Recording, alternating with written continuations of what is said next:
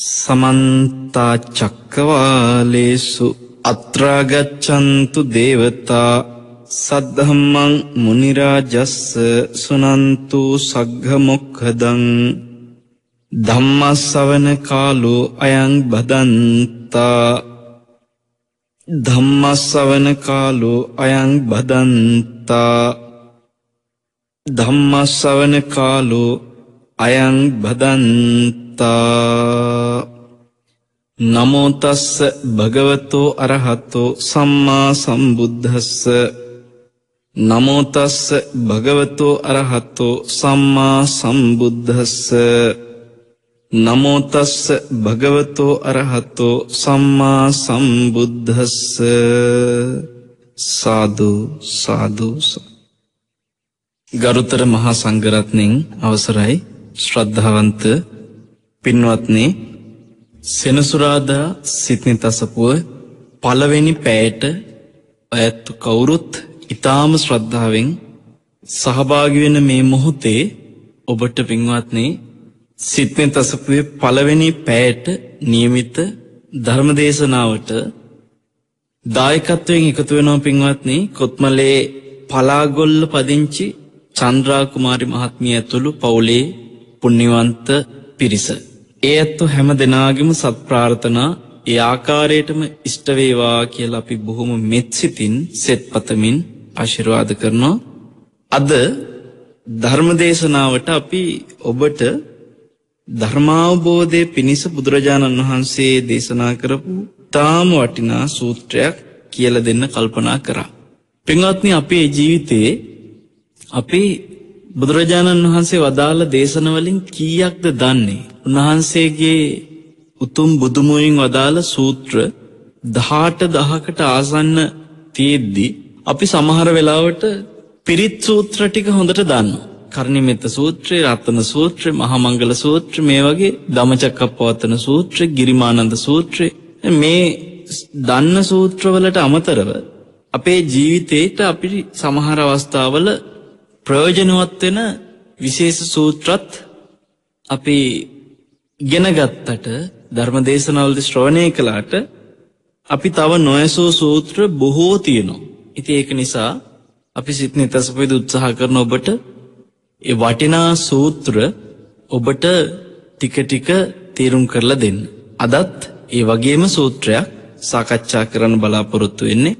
මේ සූත්‍රයේ නම ආනන්ද සූත්‍රය. ආනන්ද කියන නම ඇහෙනකොට ඇතු දන්නවා මේ කවුද කියලා. ඒ අපේ බුදුරජාණන් වහන්සේට අවුරුදු විසි පහක කාලයක් තාම ගෞරුවෙන් උපස්ථාන කරපු ආනන්ද ස්වාමින් වහන්සේ. සංයුත්ත නිකායේ මේ ආනන්ද සූත්‍රය තියෙන පින්වත්නි සූත්‍රයේ තියෙන වග්‍ය නමත් ආනන්ද වග්ගය ආනාපාන සති සංයුක්තය කියලා තියෙනවා සංයුත්ත නිකායේ සංයුක්තයක් අන්නේ සංයුක්තය තුළ තියෙන ආනන්ද සූත්‍රය. නැත්තං ආනන්ද සූත්‍ර කියලා තව සූත්‍ර තියෙනවා සංයුත නිකාය ඇතුළෙම. එතට ඔබ ආනාපාන සති සංයුක්තය ඇතුළට ඇතුළත් වෙච්ච ආනන්ද සූත්‍රය කියනකොට දැන් ඔබට දැනෙනවා මේ ආනාපාන සතියට සම්බන්ධ සූත්‍රයක් කියන එක. ඇත්තටම ආනාපාන සතිය ගැන බොහොම පුළුල් විස්තරයක් මේ ආනන්ද සූත්‍රය තුළ අපිට දැනගන්න පුළුවන් පින්වත්නේ ආනාපාන සතියට සම්බන්ධ කාරණා කීපයක් අපි මතකයි පහුගිය අවස්ථා කීපකති කතා කළා. අද පින්වත්නේ ආනාපාන සතිය ගැන බොහොම පුළුල් දීර්ඝ විස්තරයක් සඳහන් වෙන සූත්‍රයක් සාකච්ඡා කරන්න බලාපොරොත්තු වෙන්නේ. අපිට මේ සූත්‍රය කොටස් වශයෙන් සාකච්ඡා කරන්න වෙන දීර්ඝ දේශනයක් අපේ ජීවිතේට ආනාපාන සතිය කියන මේ භාවනා අරමුණ එක් කමටහන බොහෝ හිතසුව පිණිස ඒ ජීවිතේ අරහත්ව දක්වාම දියුණු කරන්න පුළුවන් පුළුල් විදිහට විස්තර කරපු විග්‍රහ කරපු කමටහනක් තියෙනවා නම් ආනාපාන සතිය තරම් වෙන එකක් භාවනා අරමුණක්වත් නැහැ. රහත් වෙනකම්ම කළ යුතු දේ ගැන තාම විස්තරාත්මකව බුදුරජාණන් වහන්සේ දේශනා කරලා තියෙන ඉහළම භාවනා අරමුණ තමයි ආනාපාන සතිය. ඒක නිසා මේ ආනාපාන සතිය කියලා අපි මේ වෙලාවේදී පින්වත්නි කතා කරන භාවනා අරමුණට විශේෂ තැනක් හිමිවෙනවා වගේම ආනාපාන සතිය නිසා ඇති වෙනවාද යම් සමාධියක්. ඒ ආනාපාන සති සමාධියට අරිය විහාර කියලා ආර්ය විහරණයක් කියලත් කියනවා. එවගේම බ්‍රහ්ම විහාර බ්‍රහ්ම විහරණයක් කියලත් කියනවා. තතාගත විහාර තතාගත විහරණයක් කියලත් කියනවා. මේ ආනාපාන සති සමාධිය කියන එක පින්වත්නේ ලේසි නෑ මේ බුදු සසුනක ඇතිකරගන්න තියෙන එවගේම සේක විහරණයක් හික්මෙන ශ්‍රාවකයෙකුට තියෙන බොහොම විශේෂ විහරණයක් ආනාපාන සතිය තුළ ඇති කරගන්න සමාධිමත් සිත. ඒක හින්දා ඔය ඇත්ත පුළුවන් තරම් පින්වත්නි තමන්ගේ ජීවිතේ ආනාපාන සතිය පුරුදු කරන්න පුළුවන්ද කියලා උත්සාහ කරන්න. මොකද ආනාපාන සතිය වඩන කෙනාට ජීවිතය අරහත්ත්වය දක්වාම වඩන්න උපදේශ බුදු දේශනාව තුළ තියෙනවා වගේම කොහොමද කරන්න කියලා ඊටාම පැහැදිලිව සාකච්ඡා කරමින් තේරුම් ගන්න පුළුවන් ස්වාක්කාත වූ ධර්මයක් මනාකොට දේශනා කරපු ධර්මයක් තියෙනවා ආනාපාන සතිය ගැන. දැන් මේ මේ සූත්‍රයේ සඳහන් වෙන සංයුත නිකායම පින්වත්නි අපි ඔබට කිව්වා ආනාපාන සති සංයුක්තයක් තියෙනවා කියලා. ආනාපාන සති සංයුක්තය කියන එකෙන් අදහස් කරේ සංයුක්ත කරලා තියෙනවා කියලා කියන්නේ එකට එකතු කරලා තියෙනවා. එතකොට ආනාපාන සති භාවනාව ගැනම කතා කරන සූත්‍ර වෙනමම එකතු කරලා සංයුක්තයක් හදලා තියෙන්නේ. මේ ආනාපාන සති සංයුක්තය ඇතුළේ පින්වත්නි ඒක ධම්ම වග්ගය ආනන්ද වග්ගය කියලා වග්ග දෙකක් සඳහන් වෙනවා. එතකොට සූත්‍ර 10 ගානේ සූත්‍ර 20ක් ආනාපාන සතිය ගැන විතරක් තියෙනවා. මේ සංයුත නිකාය ඇතුළේ. එතකොට සූත්‍ර 20ක්ම එකට එකතු කරලා භාවනා අරමුණක් ගැන හදපු දේශන එකතුවක් සංයුත නිකාය ඇතුළේ තියෙනවා කියලා කියනකොට මජ්ක්‍ධිම නිකායේ ආනාපාන සතිය ගැන සඳහන් වෙන සූත්‍ර කීපයක් තියෙනවා. ඒ අතරේ ආනාපාන සතියේ නමින්ම සූත්‍රයක් තියෙනවා ආනාපාන සති සූත්‍රය කියලා. මේ වගේ පුදුම විදිහට තැන දුන්න අරමුණක් තමයි ආනාපාන සති භාවනාව අද මේ ඉගෙන ගන්න දේශනාවෙන් ඔබට තේරෙයි කොච්චර විස්තරාත්මකව දීර්ඝ කරුණු මේ ආනාපාන සතිය ගැන බුදුරජාණන් වහන්සේ දේශනා කරලා තියෙනවද කියලා. ඒ වගේම ශ්‍රාවකයන් වහන්සේලා වැඩි උනන්දුවකින් ආනාපාන සතිය ගැන හොයලා තියෙනවා. ඔය මොනවත් කතාව නෑනේ පින්වත්නි. බුදු උනේ මොන භාවනාවෙන්ද? බුදුරජාණන් වහන්සේ. උන්වහන්සේ සම්බුද්ධත්වයට පත් වුණෙත් ආනාපාන සති භාවනාවෙන්. ඉතින් මේ පමණ භාවනා අරමුණු තියෙද්දි බුදු කෙනෙක් බුද්ධත්වයට පත් වෙන්න භාවිතා වෙච්ච භාවනාව කිව්වට පස්සේ ඉතින් ඒකට තථාගත විහාර කියලා නොකිය මොකක් කියන්නද? එතකොට අද ආනාපාන සතිය වඩන්න උත්සාහ කරන පින්වන්ත අය වෙනුවෙන් අපි ආනන්ද සූත්‍රය සිත්නෙතසපු කිහිපයකදීම ටිකින් ටික විස්තරාත්මකව කියලා දෙන්න කල්පනා කරා. මොකද මම මේක මෙහෙම කියන්න අදහස් කරේ ආනාපාන සතිය ගැන කෙටි විස්තර පමණයි අපි පහුගිය සිතේ තසපුවලදී කියලා දීලා තියෙන්නේ.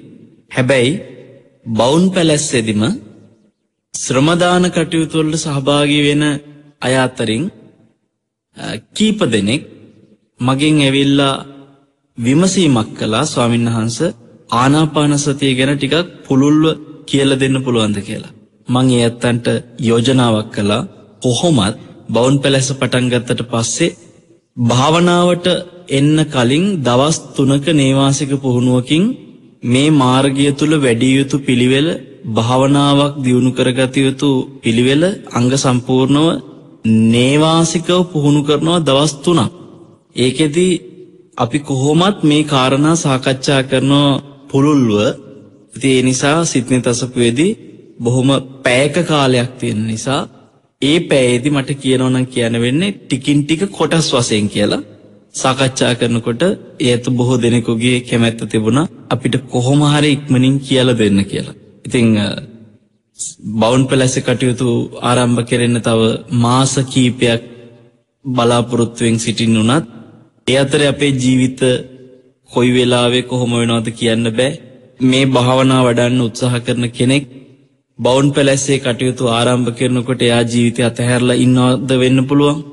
නමුත් ඒ වගේම අපේ පැත්තෙනුත් අපේ ජීවිතයක වෙලෙද කියන්නත් බැරි නිසා මේ කරුණු පෙන්වත්නේ හැකි තරම් ඉක්මනින් අපි දැනගන්න තරමට සාකච්ඡා කරන තරමට වටිනොයි කියලා මාත් අදහස් කරලා හිතුවා ආනන්ද සූත්‍රය අද ඉඳලා ඔබට කියල දෙන්න. මේ ආනන්ද සූත්‍රයේ ආනන්ද ස්වාමීන් වහන්සේම පින්වත්නේ බුදුරජාණන් වහන්සේ ළඟට ගිහිල්ලා විශේෂ ප්‍රශ්න කීපයක් අහනෝ. මොකද මේ අහන ප්‍රශ්න කීපේ. අත්තිනුකෝ භන්තේ ඒකෝ ධම්මෝ භාවිතෝ බහුලීකතෝ චත්තාරෝ ධම්මේ පරිපූරෙන්ති ඔන්න එක ප්‍රශ්නයක්. ස්වාමීනි එක ධර්මයක් වඩලා බහුල වසයෙන් දියුණු කරලා එක එක ධර්මයක්. ධර්ම හතරක් පිරෙනවද? ඒ කියන්නේ එකකින් හතරක් කරගන්න පුළුවන්ද බහුල වසයෙන් පුරුදු කරලා? ඊට පස්සේ අහනවා චත්තාරෝ ධම්මා භාවිතා බහුලී කතා සත්ත ධම්මේ පරිපූරෙන්ති ධර්ම හතරක් බහුල වශයෙන් පුරුදු කරනකොට ස්වාමීනි ධර්ම හතක් පිරෙනවාද? ධර්ම හතක් දියුණු කරගන්න පුළුවන්ද? ඊට පස්සේ අහනවා සත්ත ධම්මා භාවිතා බහුලී කතා ද්වේ ධම්මේ පරිපූරෙන්ති ධර්ම හතක් දියුණු කරාට පස්සේ දෙකක් වූ ධර්ම පරිපූර්ණ කරගන්න වඩන්න පුළුවන් වෙනවද. තැන් ප්‍රශ්නය අපි ආයි බලමු. එකකින් පුළුවන්ද බහුලෝසෙන් දියුණු කරලා හතරක් වඩාගන්න හතරක් බහුලෝසයෙන් දියුණු කරලා පුළුවන්ද හතක් වඩාගන්න හතක් පරිපූර්ණ දියුණු කරලා පුළුවන්ද දෙකක් වඩාගන්න. එකකින් හතරකුත් හතරකින් හතකුත් හතකින් දෙකකුත්. නිකම් මහා අමුතු ප්‍රශ්නයක්. මේකනියන් එහෙම් මෙහෙන් ගියපු ඉලක්කම්. එක හතර හත දෙක. පින්වත්නේ මේ ප්‍රශ්නය ඇතුළෙම තේරෙනවා ආනන්ද ස්වාමීන් වහන්සේ ලේසි පහසු ප්‍රශ්නයන්න මේ මේ අහන්නේ. මේ අහන්නේ හරියටම අපි වෙනුවෙන් මෙතෙන්දි ලැබියයුතු විශේෂ උත්තරය බලාපොරොත්තුවෙන්. එකක් කියන්නේ මොකක්ද හතරක් කියන්න මොකක්ද හතක් කියන්න මොකක්ද දෙකක් කියන්න මොකක්ද කියලා දැන් අපිට දැනගන්න පුළුවන්. බුදුරජාණන් වහන්සේ ආනන්ද ස්වයන්හන්සට කියන ආනන්ද අත්තිකෝ ආනන්ද තියෙනආනන්ද. ඒකෝ දම්මෝ භාවිතෝ බහුලීකතෝ චත්තාරෝ දම්මේ පරිපූරෙන්ති. ආනන්ද මේ එක ධර්මයක් හොඳට බහුලෝවසයෙන් නිතර නිතර දියුණු කරලා ධර්ම හතරක් ඇතිකරගන්න පුළුවන් ආනන්ද. චත්තාරෝ ධම්මා භාවිතා බහුලී කතා සත්ත ධම්මේ පරිපූරෙන්ති. ආනන්ද මේ ධර්ම හතරක් හොඳට බහුලෝසයෙන් දියුණු කරනකොට ධර්ම හතක් ඇති කරගන්නත් පුළුවන්. ඊට පස්ස කියනවා සත්ත ධම්මා භාවිතා බහුලී කතා. ඔය ධර්ම හත හොඳට දියුණු කරගත්තට පස්සේ දවේ දම්මේ පරිපූරෙන්ති අර ධර්ම දෙක දියුණු කරගන්න පුළුවන් ආනන්ද. දැන් බුදුරජාණන් වහන්සේ පුළුවන් කියනකොට ආනන්ද හාමුදුරුවහන ස්වාමිනි කොමන එක ධර්මයකෙන්ද කොමන ධර්ම හතරක්ද දියුණුවෙන්නේ. කොමන ධර්ම හතරක් දියුණු කරලද කොමන ධර්ම හතක් වැඩෙන්නේ. කුමන ධර්ම හතක් දියුණු කරලද කුමන ධර්ම දෙකක්ද වැඩෙන්නේ. බුදුරජාණන් වහන්සේගේ පිළිතුර පින්වත්නේ ඔන්න දැන් අපිට එක මොකක්ද හතර මොකක්ද හත මොකක්ද දෙක මොකක්ද කියලා දැනගන්න අවස්ථාවත් එක්ක හොඳට අහගන්න. මං හිතනවා මේ ධර්මය පිළිබඳ ලොකු උනන්දුවත් තියෙන පිරිසක් සිත්න තසපුවත් එක්ක මේ නෙත්නාලිකාව තුළ පැවැත්වෙන සියලු දේශන එක්ක ඉන්නේ එනිසා ධර්මය හොඳට දැනගන්න අවශ්‍ය කරන පින්වතුන් මේ කාරණා සටහන් කරගෙන තියාගන්න එක වටිනවා ඔබේ ජීවිතයට අද සාකච්ඡා කරන්නේ ආනන්ද සූත්‍රය ආනන්ද සූත්‍රය තුළ ටිකක් වෙනස් වූ අපූරු ප්‍රශ්න ටිකක් ආනන්ද ස්වාමීන් වහන්සේ විමසල ඒ ප්‍රශ්නවලට පිළිතුරු ලැබෙනෝ වගේම ඒ පිළිතුරු විස්තරාත්මකෝ සාකච්ඡා කරන අවස්ථාවේ දැන් අපි ඉන්නේ. බුදුරජාණන් වහන්සේ අර එක ධර්මය කියන එකද මොකක්ද කියලා දැන් කියන්න සූදානම්. උන්වහන්සේ කියනවා ආනාපාන සති සමාධිකෝ ආනන්ද ඒකෝ ධම්මෝ භාවිතෝ බහුලීකතෝ අන්න බහුල වසයෙන් භාවිතා කරන පුරුදු කරන එක ධර්මය ආනන්ද ආනාපාන සති සමාධිය. අනාපාන සතිය නෙමෙයි අනාපාන සති සමාධිය. එතකොට මේ ආනාපාන සතිය තුළ ඇති කරගන්නා වූ සමාධිය කියන එක ධර්මෙ දියුණු කරාට පස්සේ බහුල වශයෙන් චත්තාරෝ සතිපට්ඨානේ පරිපූර්ණති. සතර සතිපට්ඨානෙම පරිපූර්ණ කරගන්න පුළුවන්. පරිපූර්ණ කියන වචනේ මතක තියාගන්න. ඒ කියන්නේ එහෙම මෙහෙම බාගෙට නෙමෙයි මේක සම්පූර්ණයෙන්ම දියුණු කරගන්න පුළුවන් මොනවද සතර සතිපට්ඨානෙ. දැන් අපි සමහර වෙලාවට සතිපට්ඨානේ වඩන හැටි ගැන කතා කරනවා. සතර සතිපට්ඨාන ගැන ඉගෙන ගන්න. සතර සතිපට්ඨානේ මිනිස්සු කටපාඩම් කරනවා. සතර සතිපට්ඨානේ වඩන්න ඕනේ කියලා සාකච්ඡා කරනවා. හැබැයි S2 පියාගෙන ආනාපාන සතිය දියුණු කරන කෙනෙක් ආනාපාන සතිය තුල සමාධිය ඇති කරගත්තම ඒ සමාධිය ඇතුලේ මුළු සතර සතිපට්ඨානයම වැඩෙනවා නම් එවැනි ක්‍රමයක් තමයි මේ ආනන්ද සූත්‍රය තුළ අපි දැන් කියන්න උත්සාහ කරන්නේ. ආපහු කියන ඔබට දෙනෙත් පියන් ආනාපාන සතියට අවධානය යොමු කරලා ආස්වාසේ ප්‍රාශ්වාසයේ කෙරෙහි තියෙන සිහියට හිත යොමු කරගෙන ඉද්දී ලැබෙනවද චිත්ත සමාධිය. ඒ කියන්නේ හිත විසිරෙන එක දුර වෙලා කේක අරමුණු වල විසිරි විසිරි යන්නේ නැතුව ආස්වාසයටයි ප්‍රස්වාසයටයි විතරක්ම පිහිටපු සිහියක් ඇති වුණොත් ඒ තුල තියෙන චිත්ත සමාධියෙන් පුළුවන් තන මුළු සතර සතිපට්ඨානෙම පරිපූර්ණව වඩන්න. ලේසි නෑ. ඒක බලමු කොහොමද කෙරෙන්නේ කියලා. ලේසි නෑ කියලා කිව්වේ මේ මෙච්චර පිළිවෙලක් මේ ඇතුලේ තියනවා කියන එක ලේසි නෑ. හැබැයි වඩන්න අමාරුත් නෑ. මේක හරි පහසුවෙන් සරලව වඩන හැටි අද අපි සාකච්ඡා කරනවා පරිපූර්ණව. අද දවසේම බැරි වුණත් මේ සූත්‍ර කොටස් කොටස් ටික ටික ඔබට කියලා දෙනවා. පින්වත්නි බුදුරජාණන් වහන්සේ ඊළඟට ආනන්ද ස්වාමීන් වහන්සේට කියනවා චත්තාරෝ සතිපට්ඨාන භාවිතා බහුලීකතා ආනන්ද මේ සතර සතිපට්ඨානෙ ඒ විදිහට මොකට අනුවද ආනාපාන සති සමාධියට අනුව බහුල වශයෙන් පුරුදු පුහුණු කරගත්තට පස්සේ සත්ත බොජ්ජන්ගේ පරිපූර්ණති සප්ත බොජ්ජංග පරිපූර්ණ වෙනවා. බොජ්ජංග හත වැඩෙනවා පරිපූර්ණව. ඔන්න දැන් එක මොකක්ද ආනාපාන සති සමාධිය.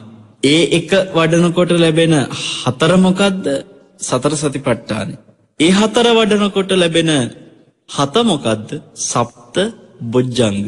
අමතක කරන්න එපා මේ සියල්ලම දෙනෙත් පියාගෙන ආනාපාන සති සමාධිය තුලින් ඇති කරගන්න ඒවා. ඒ කියන්නේ පින්වත්නි ආස්වාසයේ ප්‍රස්වාසයේ කෙරෙහි සිහිය පවත්වලාම පුළුවන් සතිපට්ඨානෙ වඩන්න ඒ තුලින් පුළුවන් සප්ත බොජ්ජංග වඩන්න. ඊළඟට හතක් නිසා දෙකක් කිව්ව අන්තිමට මොකද්ද? බුදුරජාණන් වහන්සේ ආනන්ද ස්වාමීන් වහන්සේට කියන ආනන්ද සත්ත බොජ්ජංගා භාවිතා බහුලීකතා කෙනෙක් සප්ත බොජ්ජංග බෝධිඅංග හත භාවිතා කරනවා නම් බහුල වශයෙන් නිතර පුරුදු කරගන්නවා නම් බහුල වශයෙන් ඒක හොඳට මතක තියාගන්න. මේ නිකන් ඉඳලා හිටලා අවස්ථාවක් ලැබුණම වාඩින එක නෙමෙයි.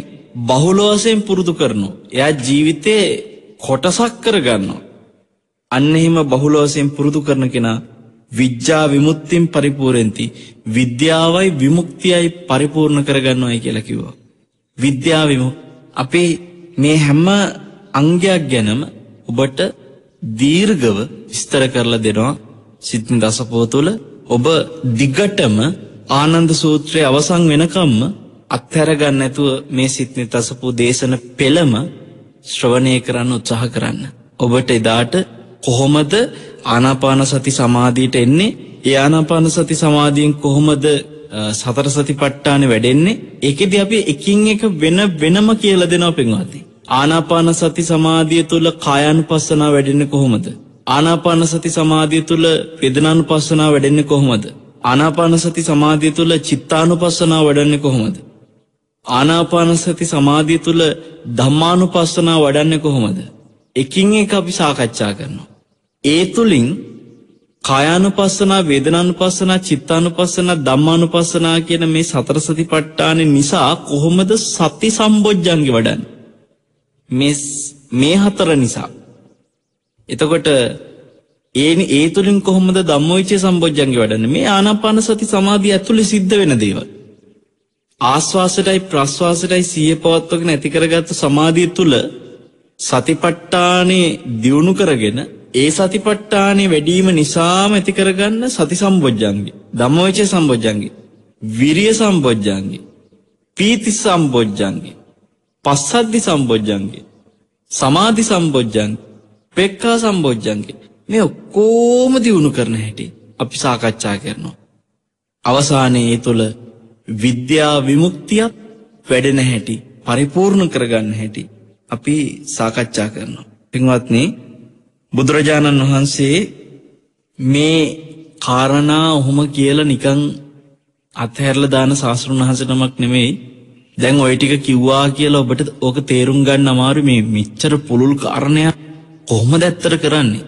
මේක ඇත්තටම පින්වත්නි බොහොම සරලව අයන්නේ ඉඳලා මේ සූත්‍රය ඇතුළේ අපි සාකච්ඡා කරන නිසා කලින් ඔය ඇත්ත මේවා දන්නේ නැහැ කියලා ප්‍රශ්නයක් නැහැ චුට්ටක්වත්. ඉස්සිස්සෙල්ලම හාහාපුරා කියලා සිත්නි තසපුවට සවන් දෙන කෙනෙකුට උනත් මේ දේශනාව තුළ තාම හොඳින් තාම පැහැදිලිව ඔබට භාවනාව දියුණු කරගන්න හැටි ඒ තුළ විද්‍යා විමුක්ති කියන්නේ අරහත්වය දක්වාම දියුණු වෙන හැටි අපි සාකච්ඡා කරනවා. විද්‍යාව විමුක්තිය අවබෝධයයි නිදහස්වීමයි. ඒ අරහත්වේ. රහත් වෙනකම්ම දියුණු කරන්න තියෙන භාවනාවක් අපි පින්වත්නේ මීට වැඩි බොහෝ මුනන්දුවක් අපේ ජීවිතය තුළ උත්සාහයක් ගන්නවනම්. හැකි තරං සක්මනට පරයංකයට අපේ හිත උනන්දු කරවනවනම්. අපි පුළුවන් ආකාරයෙන් අපේ මනස කාලය මේ ඉපදිලා තියෙන මනුස ජීවිතය තුළ අපි දන්නේ නෑ අපේ ආයුෂ අපි ගොඩාක් දේවල් වෙනුවෙන් වැය කරලා තියෙනවා ආයුෂ තව කොච්චර ඉතුරුද කියන්න දන්නේ නෑ ඒ ගෙවෙන ආයුෂවල මේ ගන්න හුස්ම පොද අපිට අරහත්වයට උපකාරී වෙන්න ධර්මමාර්ගය දියුණු වෙන්නම අපි අවබෝධය හසුරවන හුස්ම පොදක් බවට පත් කරගන්න අපිට උනන්දුවක් ආවොත් යම් දවසක පින්වත්නි මේ කියන සූත්‍ර පුද්දුම්ම විදිහට වටිනාකමක් දැනේ. මේ දේශනාවේ වටිනාකම දැනෙන්නෙම ඒ වීරිය, ඒ උනන්දුව, ඒ උත්සාහය තියන අයට. පින්වත්නි බුදුරජාණන් වහන්සේ ආනන්ද ස්වාමීන් වහන්සේට කියනවා කතං භාවිතෝච ආනන්ද ආනාපාන සති සමාධි කතම් බහුලීකතෝ චත්තාරෝ සතිපට්ඨානේ පරිපූරේති ආනන්ද මේ කොයි විදිහට ආනාපාන සති සමාධිය වැඩුවොත්ද? ආනන්ද මොන විදිහට බහුල වශයෙන් පුරුදු කරොත්ද ආනාපාන සති සමාධිය? අර කිව්ව සතර සතිපට්ඨානේ පරිපූර්ණ වෙන්නේ. හරිම පැහැදිලි. දැන් බුදුරජාණන් වහන්සේ මුළු සතර සතිපට්ඨානෙම පරිපූර්ණ වෙන විදිහ දේශනා කරන්න සූදානන් වෙනවා. ඒ සඳහා කොහොමද ආනාපාන සති සමාධිය වඩන්න ඕනේ කියලා විස්තර කරමින්. සුපුරුදු විදිහටම ආනාපාන සතිය ගැන බුදුරජාණන් වහන්සේ දේශනා කරද්දී හැමදාමත් වගේ පින්වත්නි උන්වහන්සේ මේ අවස්ථාවේදී අර රුක්ක මූලගතෝවා ශුඤ්ඤාගාරගතෝවා ඒ වගේම අරඤ්‍යගතෝවා කියන කාරණේ කියනවා මං හොඳට බලලා තියෙනවා තවත් භාවනා අරමුණු කීපයකට ඔය කරුණ කියනවා. අරඤ්‍යගතව රුක්ක මූලගතව ශුන්‍යාගාරගතව කියන එක. හැබැයි මේ ආනාපාන සතියට හරි විශේෂයි. බලන්න හොඳට ආනාපාන සතියේදී භාවනා කරන්න ඕන තැනක් කියනවා, විදිහක් කියනවා, වාඩි වෙන්න ඕන විදිහක් කියනවා, හිතන්න ඕන ටිකක් කියනවා මේ පූර්ව කරුණු කීපයක් කියනවා. මොකද හේතුව ආනාපාන සතිය පින්වත්නි අනිත් භාවනාවලට වඩා ලොකු වෙනසක් තියෙනවා. ප්‍රධානම වෙනස තමයි ආනාපාන සතිය තියෙනවා මම ඔබට කිව්වා අද මේ නොදන්න කෙනෙකුටත් අයන්න ඉඳලම කියලා දෙනවා කියලා. ආනාපාන සතිය තියෙන අනිත් භාවනා අරමුණු වලට වඩා ලොකු වෙනසක්. පුළුවන් නම් කියන්න මොකද්ද වෙනස කියලා. දැන් ඔබ ඔබේ හිතින් අහන්න. අනිත් සියලු භාවනා අරමුණු වලට වඩා මොකද ආනාපාන සතිය තියෙන වෙනස? මේකේ තියෙන ප්‍රධානම වෙනස තමයි ස්වභාවයෙන් පින්වත්නි අනිකුත් භාවනා අරමුණු වල විතර්ක කිරීමක් තියෙනවා. බහුලව විතර්ක කරන භාවන අරමුණු තියෙනවා. දැන් බලන්න උදාහරණයකට බුදුගුණ භාවනාව කළත් විතර්ක. විතර්ක කියන්නේ හිතනවා කියන එක. ඒතර භාවනාවක් කිව්වම අපි හිතන්නේ හිතන එක. හිත හිත ඉන්නවා යමක්. ඇත්තරම භාවනාවක විතර්ක පිරීලා. ඒක එක්තරා විතර්කයක්. බහුල බහුල විවිධ විතර්ක නෙමේ එක එක විතර්කයක් අරගෙන බුදුගුණ නම් බුදුගුණම විතර්ක කරනවා. ඊට පස්සේ මෛත්‍රිය නම් මෛත්‍රී අරමුණුම විතර්ක කරනවා. මම වෛර නැත්තෙක් වෙම්මා කියනකොට මම ගැන විමසමින් විතර්ක කරමින් මම වෛර නැති කෙනෙක් වෙන්න ඕනේ කියන විතර්කයක් එක්ක තරහ නැති කෙනෙක් වෙන්න ඕනේ කියන විතර්කයක් එක්ක ඊර්ෂ්‍යා නැති වෙන්න ඕනේ. මේ බලන්න වෛරය තරහා ඊර්ෂ්‍යාව විවිධ දේවල් ගැන විතර්ක කරනවා. ඒ මෛත්‍රී අරමුණේ. අසුභ භාවනාව ගත්තොත් කෙස් ගැන ලොම් ගැන නියපොත්තු ගැන දත් ගැන සම් ගැන මස් ගැන ඇට ගැන ඇටමිදුළු ගැන එකින් එක විතර්ක කරනවා. මේක මේ විදිහයි මේක මෙහෙම පිළිකුල්. එක එක විතර්ක කරනවා. හොඳට හිතල බලන්න.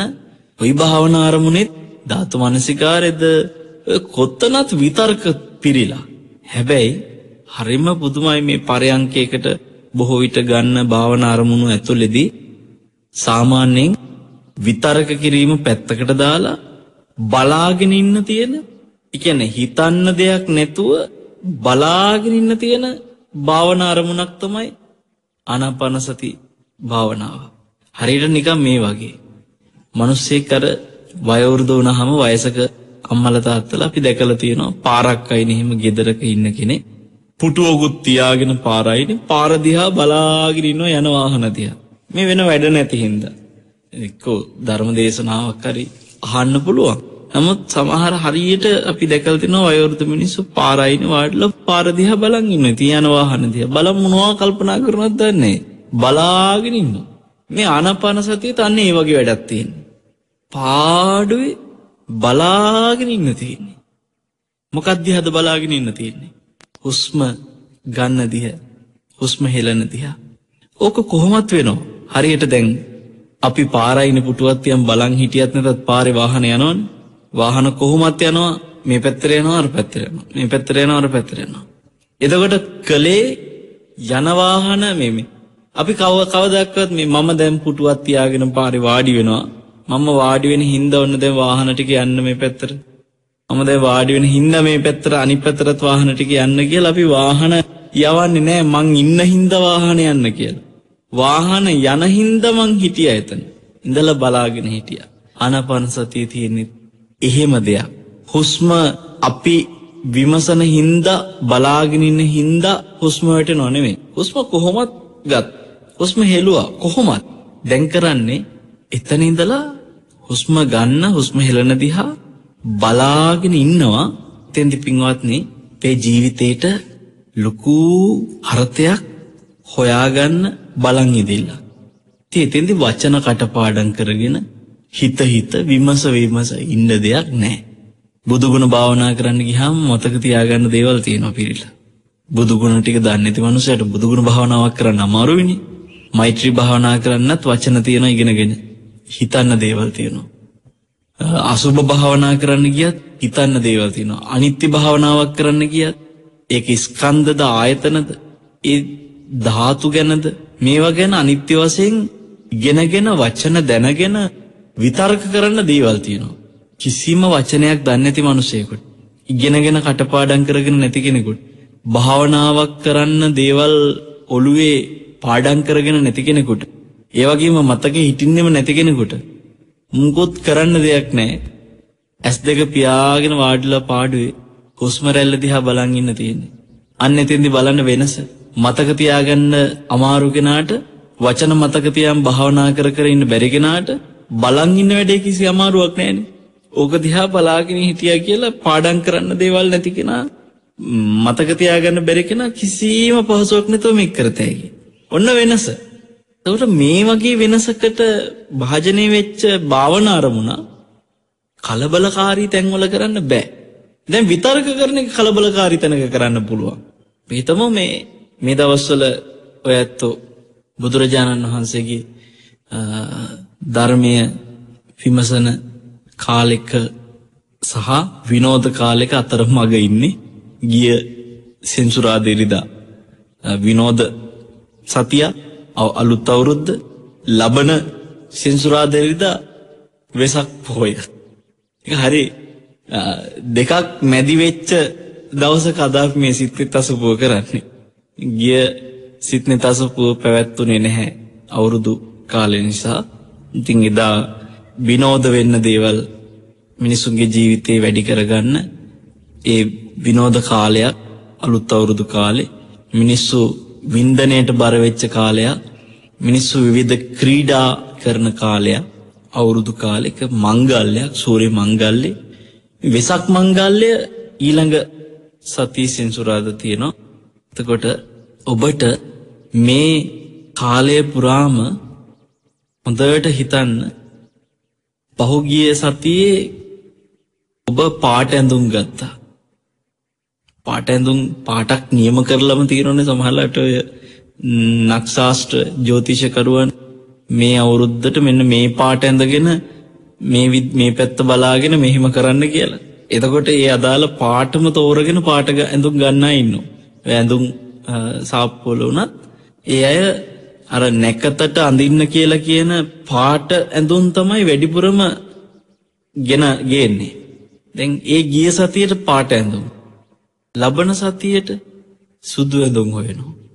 මේකෙදී ඔය දැන් ඇඳුම් ගන්න එහෙම ගියපු තැන්වල අපි දැක්කා සමහරලාවට ඒ ගිය සතිවල අපිට ධර්මදේශනාවකට පාරේ යන්න බෑ හරි අමාරුයි සමහර නගරවල පුද්දුම වාහන තද බදය.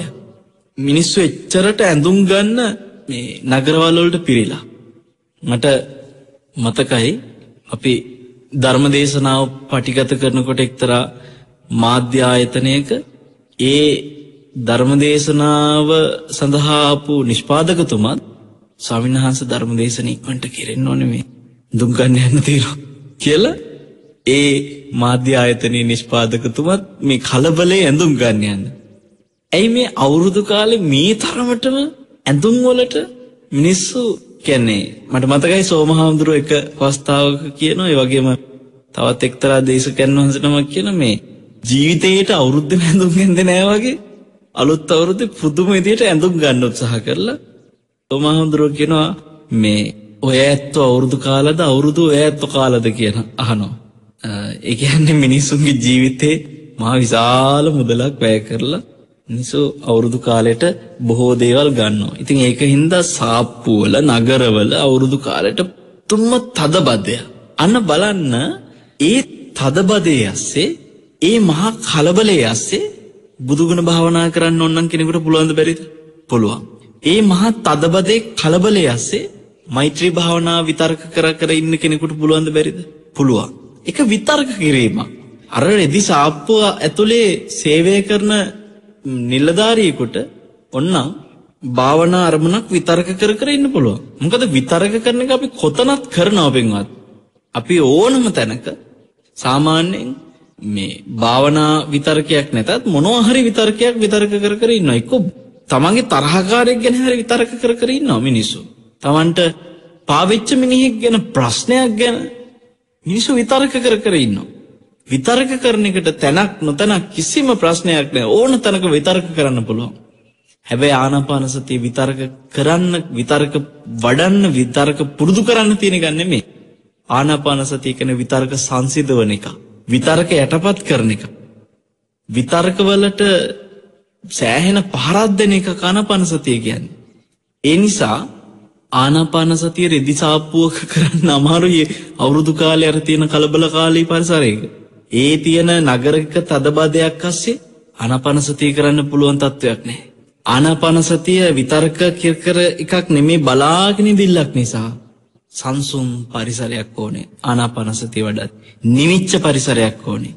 එනිසා තමයි මෙතන විශේෂ කරලා අරං්ඥගතෝවා රුක්කමූලගතෝවා සුඥාගාරගතෝවා කියලා කියන්නේ. අරණ්‍ය කියනකොට එතැන්දී අරන්න කියන මොකක්ද කිය ඔබට ඉස්සල කියන්න.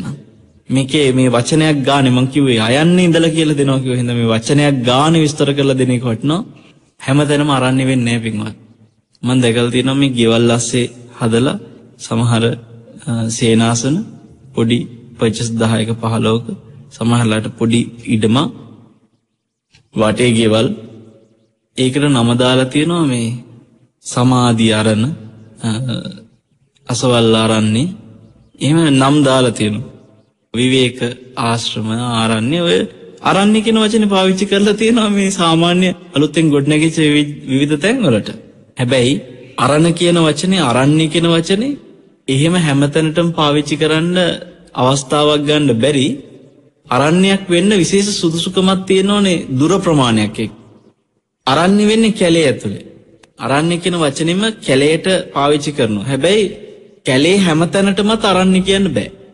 දැන් එකපාරට කැලයක් තිබ්බ පමණින්ම ඔන්නම් කෙනෙකුට පුළුවන්. අපි මේ පිළියන්දල වැඩඉන්න ශාන්ති නිකේතනය වුණත් ගස් කොළන් වවල යම්කිසි වනගත ස්වභාවයක් ගන්න අපිත් මෙතන පරිසරය හදලා තියෙනවා. හැබැයි නිවාස ගොඩක් මැද ඉඩමක් ගස්සිටෝල කැලයක් කරත් ඒක කැලේ තිබ්බ පමණින් අරන්නේ වෙන්නේ නෑ. හැම කැලේම අරන්නේට ගන්නත් බෑ. කැලේ ඇතුලේ හැමතැනම අරන්නේ කියන්නත් බෑ කියන්නේ ඇයි? පින්වත්නි කැලය අවසන් වෙන ගමක් තියෙනවනේ. කැලේට අවසන් වෙන කෙළවරේ තියෙන ගමේ නිවාස ගෙවල් මිනිස්සු හැසිරෙන ගැවසෙන ගමේ කෙළවරේ ඉඳලා. ඒ කියන්නේ ගමයි ගම අවසන් වෙන තැනත් අරන්නේ පටන් කැලේ පටන් ගන්න තැන. මෙන්න මෙතන හොඳ ශක්තිමත් මිනිස්සෙක් තියෙනවා. හයිය හක්තිය හොඳට තියෙන මිනිස්සෙක් තියෙනවා. තියලා මේ මිනිස්සයා ගලක් අතට අරගෙන කැලේ පැත්තට හැරිලා ඒ මිනිසයාට පුළුවන් උපරිම වේගෙන් ගහනවා ඒ ගල කැලේ පැත්තට. හොඳ ශක්තිමත් මිනිසෙක්. පින්වත්නි අර ගම කෙළවරේ කැලේ පටන් ගන්න තැන ඉඳලා හොඳ හයිය හක්තිය තියෙන මිනිසෙක් පරිම යාගේ උත්සාහයෙන් ගලක් ගැහුවොත් කැලේ පැත්තට ඔය ගල ඈතට වීසි වෙලා ගිහිල්ලා යම් තැනක වැටෙනවා. අන්නේ වැටිච්ච තැනින් එහාට තමයි අරන්නේ කියන්න පුළුවන්. ඒ ගල ගහපු තැනත් ඒ ගල වැටිච්ච තැනත් අතර ටික කැලේ වුණාට ඒ ටිකට අරන්නේ කියන්න බෑ. ඒ ටික අයිති ග්‍රාමෝපචාරයට. ඔන්න එතකොට ඒ මිනිස්සයා හිටගෙන ඉන්න තැනින් පිටුපස ටික ගම ඒ මිනිස්සයා හිටගෙන ඉන්න තැනත් ගල වැටිච්ච තැනත් අතර ග්‍රාමෝපචාරය ගල වැටිච්ච තැනින් එහා ටික අරන්නේ. එහෙනම් අරන්නේ ගතෝවා කියලා කියන්නේ මේ කොහරි කැලේකට රිංග ගත්තා කියන එකම නෙමෙයි. එක ඔන්න තේරුම් ගන්න. එතකොට අර ගලක් ගහන කොටසෙන් එහා කියලා කියනකොට ලොකු විවේකී බවක් තියෙනවා. සමහරලාට අර ගමේ තියෙන යම් සද්ද බද්ද ටිකක් ඈත් වෙලා තියෙනවා අර කියන ගල වැටිච්ච සීමාවෙන් එහාට. ඉතින් අපිට පින්වත්නි ස්වාමීන් වහන්සේලාගේ අරණ්‍ය සේනාසනයකදී වුණත් ඔබ දැකලා තියෙනවා. ඇතැම් වෙලාවට කුටි සෙනසුන් ටිකක් කැලේ ඇතුලේ හදනවා. මොකද ඒ කුටියෙන් කුටියට උනත් හරිනම් ගලක් ඈතට ශක්තිමත් මිනිසෙක් ගහන්න පුළුවන් ප්‍රමාණය දුර. කැලේ ඇතුලේ ගල ගහන්න බෑ. කෙනෙක්ගේ අර රූස ගස්වල අස්සේ කොහොමද ගලක් ගහන්නේ? ගල ගිහිල්ලා ගහක වදින කියලා. එහෙම මේ ප්‍රායෝගිකව කරන්න කියප එකක් නෙමෙයි උපමාවක් මේ. හිතන්න මේ හරිය ඉඳලා ශක්තිමත් මිනිසෙක් ඈතට ගලක් ගැහුවොත් මීටර කීයක විතර ප්‍රමාණයක් ඈතරේ ගල ගිහිල්ලා වැටෙනවද?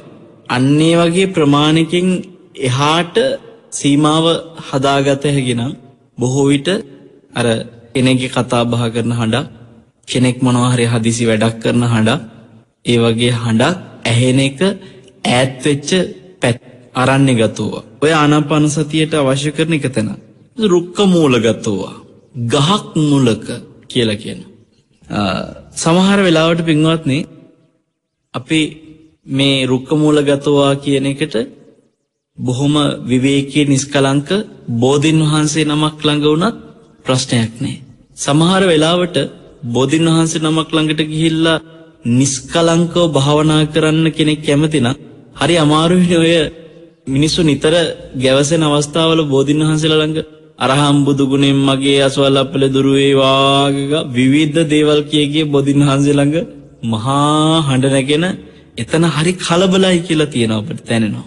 හැබැයි සමහර අවස්ථාවල පින්වත්නි කැලණියට බෙල්ලන්විල වගේ බොහොම කලබලකාරී පන්සලක වුණත් කලබල නැති අවස්ථාවන්ට මම වැඩම කරනකොට පුළුවන් තරම් විවේකීව වඩින්න කැමති අපි සමහර වෙලාවට රෑ 10න් පස්සේ පාන්දර 5ට කලින් ඔන්න අතර කාලේ අර වගේ තැනකට ගියාම රෑ 11ට 12ට එකට දෙකට වගේ හරිම නිස්කලංකයි පුද්දුම විදිහට හිත නිවෙන භාවනාවකට කියාපු වෙලාව ඒ වගේ වෙලාව. ඉතින් කෙනෙකුට මේ නින්ද කියන එකට තියෙන ආසාව මාසෙට දවසකට හරි පැත්තකට දාලා ඔබ පින්වත්නි රෑ 12ට 1ට 2ට ඔයගේ වෙලාවක ගිහිල්ලා බලන්න කැලණි මිනිස්සු ඉන්නව එක්කෙනා දෙන්න. මේකෙන් දැන් මම තවත් පිරිස වැඩි කරෝන වැඩක් වෙන්නත් පුළුවන්. ඒකෙන් තවත් අර කලබලයේ ඇති කරවන්න පුළුවන්. නමුත් මම දන්නවා ඔක කිව්ව පමණින් හැමෝම ප්‍රායෝගිකව සියලු දෙනා ඒ වෙලාවල් වලට යන්න උත්සාහ කරන්නෙත් නැහැ ඒක කරන්නත් බෑ ඔබට. මාසෙකට එක දවසක් හරි මං කියන්නේ යන්න. කැලණි මහා සෑරදුන් වහන්සේ ළඟ අර වැලි මළුවේ ගිහිල්ලා වාඩි වෙලා බලන්නකෝ පාන්දර එකට විතර. කොච්චර නිස්කලංක බොහෝම විවේකී පරිසරයක් තියෙනවා. එක්කෙනෙක් දෙන්නෙක් ඉන්නවා එහෙම මෙහෙන් වන්දනා කරමින්. හැබැයි පුදුම සංසුම් පරිසරයම. අනිත් එක අර ඇහෙන විවිධාකාර සද්දබද්ද ඔක්කොම සංසිඳිලා. රාත්‍රියට මහ පුදුම විදියට ලෝකේ තියෙන හඬ නිහඬ වෙනවා. අල්ප ශබ්ද වෙනවා පරිසරය. සත්තු පවා ශබ්ද අඩු කරගන්නවා. දවල් කාලේ දැන් උදේ පාන්දර බලන්නකෝ ඉර පායාගෙන එනකොටනේ සත්තු ටික පවා කෑ ගහන්න ගන්න. රුල්ල පවා කෑ ගහන්න පටන් ගන්නවා. එතකොට මිනිස්සුත්ගේ සද්දෙත් වැඩි වෙනවා. වාහනවල සද්දෙත් වැඩි වෙනවා. මේ සියල්ලම රාත්‍රී කාලේ හරි පුදුම විදිහට සංසිඳිච්ච කාලයක්. දැන් මගේ රියදුරු මහත්තුරුත් සමහර වෙලාවට දැන් රියදුරෙක් රැට වාහන පදවන්න අකමැතිනේ නිදිමත එනවා. වාහනවල එළිය හැට අමාරුයි. විවිධ අපහසුතා රියදුරන්ට තියෙනවා. හැබැයි මගේ රියදුරු මහත්තුරු කියන්නේ ස්වාමීන් වහන්සේ අපි රෑට තමයි වැඩියම කැමති ගමන් යන්න. අපිට කොහොමත් රාත්‍රී අවස්ථා වැඩි මහමග අපි දුර ධර්මදේශන සිදු කරලා රෑට ස්ථානෙට එනකොට අපිට රෑ 11ට 12ට ඔය වගේ අවස්ථාවල පවා අපි මහමග සමහර අවස්ථාවල වැඩම කරනවා. ඉතින් රාත්‍රියේදී මේ රේදුරු මහත්තුරු ගොඩාක් කැමති කියන එකක් හේතුව වහන අඩුයිලු. පාර හරිම කලබල අඩුයි. එතකොට මේ මහා අව්ව පවා නැති අර කලබල අඩු වෙලාවේ රියදුරු මහත්තයෙක් වුණත් වාහනයක් පදවන්න හරි කැමති. ඉතින් හිතට උනත් පින්වත්නි රාත්‍රී කාලයේදී අර වගේ බෝගහක් ළඟට ඔබට ගිහිල්ලා නිදිමත එනවා කියන කාරණේ කෙනෙක්ට හිතෙනවා නම් ඔබ වේලාසනම නිදාගන්න. කල්ැතුව නිදියගෙන වෙනදට නිදිය ගන්න වෙලාවට වඩා ටිකක් කොහොම හරි දවසක් උත්සාහ කරලා කල්ැතුව නිදාගෙන ඔබට වේලාසනින් පාන්දර අවදි වෙලා තුනට වත් ඔබ සමහරට අවදි වෙලා ඔබට පුළුවන් නම් ඒ වෙලාවට බොදින් වහන්සේ නමක් ළඟට ගිහිල්ලා රුක්ක මූලගතෝවා ඒ ගහක් මුල භාවනාවට අවස්ථාව හදාගන්න ඒ සංසුම් පරිසරය තුළ ඔබට දැනෙයි ඔබ හුස්ම දිහා බලාගෙන ඉන්නකොට මේ බලන් ඉන්න කෙනා තුලින් කොච්චර දෙයක් ඔබට අවබෝධ කරගන්න දෙයක් දැනෙනවද කියලා. ශුන්‍යාගාර ගතෝවා හිස් අවකාශය. අන්න ශුන්‍යාගාර කියන දැන් අරණ්‍යගතෝවා කියව එක ටිකක් බොහොම දුර බැහැරයි කියන එක ඔබට දැනුණා. ඒක එකපාරට හොයාගන්න එක ලේසි නෑ. ඊට පස්සේ රුක්ක මූලගතෝවා කියනකොට එහෙම දුර බැහැර කතාවක් නෙමෙයි. විවේකී ගහක් මුලක ශුන්‍යාගාරගතෝවා කියනකොට තවත් ඔබට සමීප තැන. ඒක සමහරට ඔබේ කාමරේ වුණත් වෙන්න පුළුවන්. ඔබේ කාමරේ ජනයා නිතර ගැවසෙන්නේ නැති ශූන්‍ය ආගාරයක් නම් ආගාර කියන්නේ නිවසට. අගාර. එතකොට අපි අගාරික කියලා කියනවා නිවසක වාසය කරනවා කියන එක. අනගාරික කියලා කියනවා අගාරික කියන එකේ විරුද්ධ වචනේ. අනගාරික නිවස අතෑරපු. අනගාරික වෙච්ච සියලු දෙනා තමයි මේ ස්වාමීන් වහන්සේලා. මේනින් වහන්සේලා. ඔය හැමෝම අනගාරිකයි. ගිහිගේ අතෑරිය කියන්නේ. දැන් බලන්න අපි මහාන වෙනවා කියනකොටම කියන්නේ ගිහි ගේ ගේ අතාරින. එතකොට ගෙයක් අතෑරියා කියන එක තමයි අගාරික කෙනා අනගාරික වුණා කියලා කියන්නේ. ශුන්‍යාගාර කියනකොටත් ශුන්‍ය වූ අගාරයක්. හිස් ගෙයක් හිස් අවකාශයක් තියෙන තැන. ඒ ඔබේ කාමරයම විය හැකි. ඔබට පින්වත්නි සමහරට කාමරයට උනත් දවල් කාලෙ කලබල පරිසරයක් තියෙන්න පුළුවන් ගෙදර ඉන්න සමාජිකයෝ ගෙදරට කාමරෙට නිතර යනේනවා. දැන් කෙනෙකුට අර මම පාන්දරක එමනැත්තං ජනයා බොහෝ ගැවසෙන් ඇති මධ්‍යම යාමක අර විහාරස්ථානක බෝමලුවක් ළඟට යන්න පුළුවන් කියල යෝජනා කරනකොට කෙනෙක්ට කියන පුළුවන් එවනට අපිට ගෙදරින් ඒ වගේ වෙලාවට යන්න ඉඩ ලැබෙන් නෑනේ. ආහෙනම් ඔබට පුළුවන් ඊළඟ අවස්ථාවට යන්න සුඥාගාරය.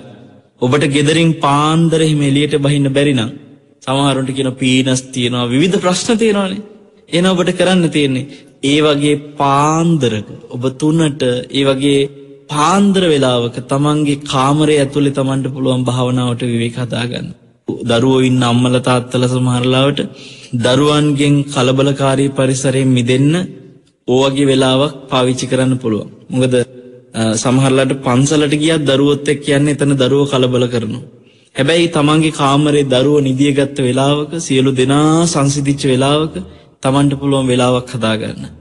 එතකොට අපි මේ හැමදාමත් අනපන සති සූත්‍රයට අදාළව අරං්‍යගතවා රුක්කමුලගතව සුඥාගරගතවා කියනක ටිකක් විස්තරව සාකච්ඡා කරේ එවැනි වටිනා ස්ථානයක් තෝරාගෙන බුදුරජාණන් වහන්සේ ඊළඟට අර සුපුරුදු විදිහටම අනපන සති මුලින් කියන්න ඕන කරුණු ටික ඔක්කොම විස්තර කරනවා.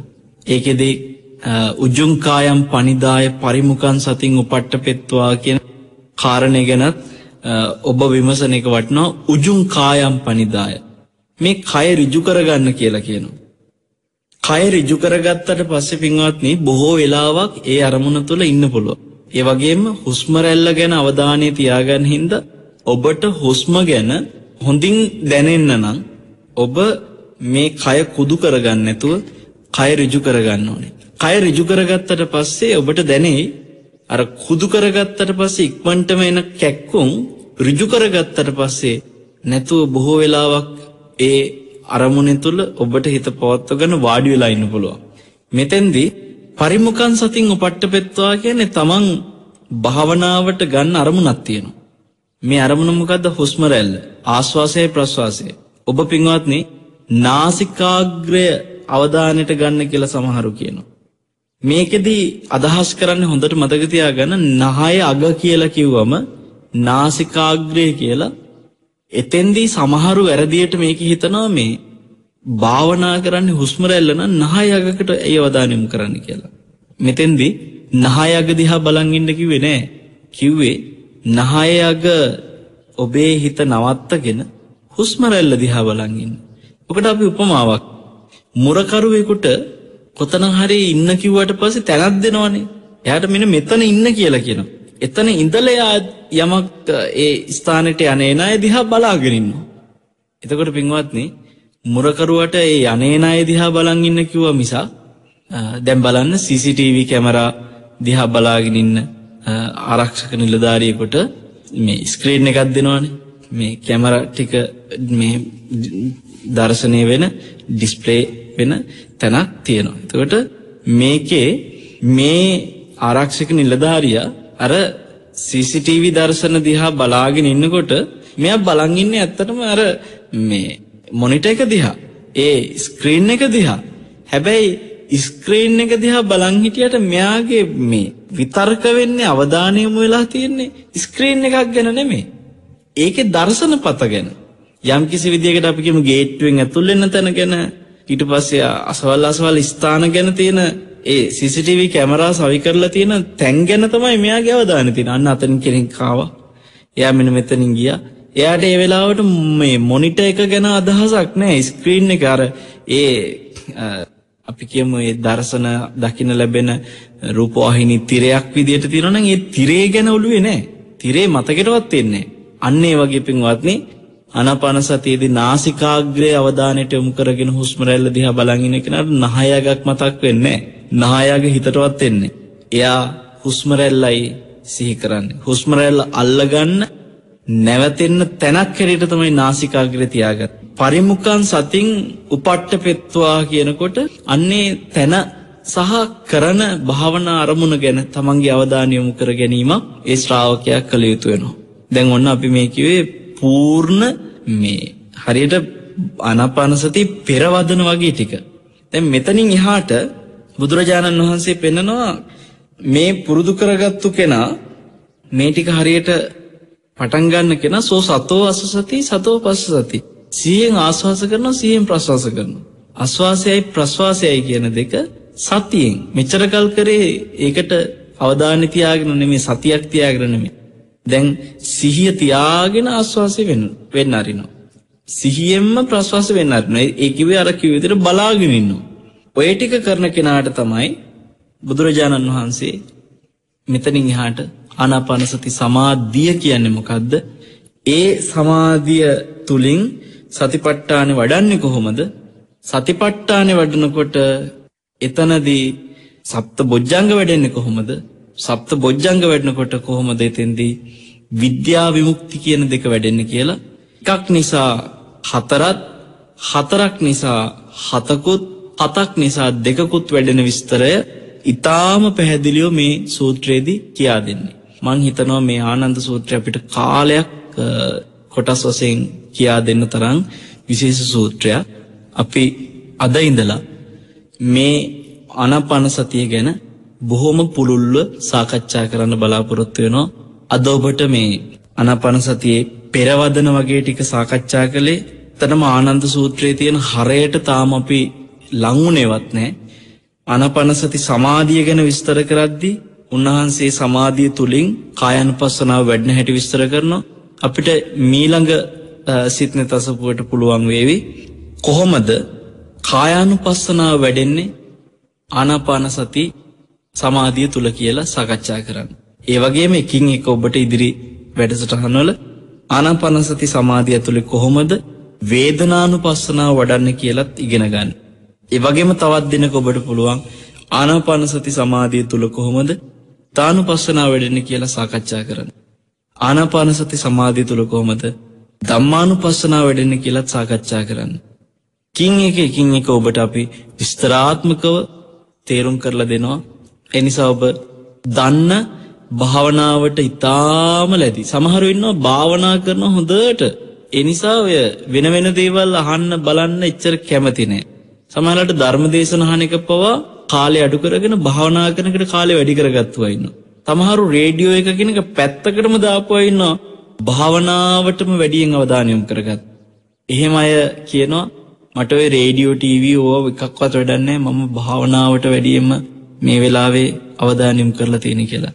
එහෙම කවුරු හරි කෙනෙක් ඉන්නවනම් එයාට ගැටලු තියෙනවා නම් භාවනා ගුරුවරයෙක් අවශ්‍ය වුණා නම් ඒ සියලු දේට ඔබ එයාට උදව්වක් හැටියට කියන්න. අන්න සෙන්සුරාද සෙත්නේ තසපු යනවා දැන් ආනාපාන සතිය ගැන පූර්ණ විස්තරයක් කොටස් වශයෙන් ටිකින් ටික අහන්න කියලා විශේෂයෙන්ම අද දවසේ අපි ඔබට මේ මුල මෙහෙම දුන්නේ ලබන සතියේ ඉඳලා තමයි එතකොට හරියටම ආනන්ද සූත්‍රයේ හරය ගැඹුර විස්තර කෙරෙන්නේ ඒ නිසා අද ඔබ දන්නා සහභාගී නොවුණු අය ඉන්නවනම් ඒ අයවත් එකතු කරගන්න ලබන සතියේ ඉඳලා අපි මේ තාම වටිනා එකක් නිසා හතරකුත් හතරක් නිසා හතකුත් හතක් නිසා දෙකකුත් පරිපූර්ණ වෙන මේ උතුම් වටිනා සූත්‍රය සාකච්ඡා කරමු. මගේ භාග්‍යතුන් වහන්සේ ඒ උතුම් අග්‍රෝපස්ථායකයන් වහන්සේට පරිපූර්ණ පුළුල් විග්‍රහයක් සිදු කළ ඒ උතුම් ආනන්ද සූත්‍රය මං වෙනුවෙන් ඔබ වෙනුවෙන් මේ විදිහට දේශනා කරන්නට අවස්ථාවක් සලසා දුන්නද ඒ අවස්ථාව සලසා දුන්නේ ඒ උතුම් ආනන්දයන් වහන්සේ මේ ප්‍රශ්නය අහපු නිසා. ඒ උතුම් ආනන්ද මහා ස්වාමින් වහන්සේටත් අපගේ নমස්කාරය වේවා කියලා අපි සාදු සාදු සාදු කියලා වන්දනා කරමු. බුදුරජාණන් වහන්සේගේ මේ පමණ වටිනා සූත්‍ර තියෙද්දි ඒ සූත්‍රයේ සඳහන් වෙන්නේ හුස්ම රැල්ලෙන් නිවන කරා යන මග හුස්ම රැල්ලට අවධානය යොමු කරගෙන අරහත්ත්වයටම හිත දියුණු කරන මග. ඉතින් අපිට හුස්ම රැල්ල අපේ සතුව මේ වෙලාවේ තියෙනවා නම් මේ හුස්ම රැල්ල භාවිතා කරමු. ඒ උතුම් මගඵල අවබෝධයටම ඔබ හැම දිනාටම ගෞතම බුදුසසුනේම ආනාපාන සති සමාධියෙන් සතර සතිපට්ඨානයම පරිපූර්ණ කරගන්න වාග්ය ලැබෙත්වා.